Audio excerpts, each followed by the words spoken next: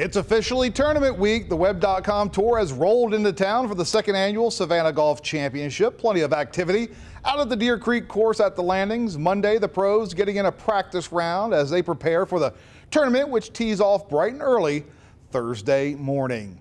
Good evening, sports fans. One of the professional golfers on the course Monday, quite familiar with teeing it up here in Savannah, Mark Silvers, is in the field for this year's tournament. The 32-year-old Silvers, a former Savannah Country Day and University of South Carolina standout. He was awarded an exemption into this year's Savannah Golf Championship. He'll be his first start on the Web.com Tour since 2016. He's got six top 25 finishes and 54 starts on the tour. Lately, he's been teeing it up on the PGA's Latin American Tour, which uh, uh, or where he's recorded three top 10 finishes and 24 starts. As you would expect, Silver's a little excited about playing in his own backyard this week after being outside the ropes in year one of the tournament.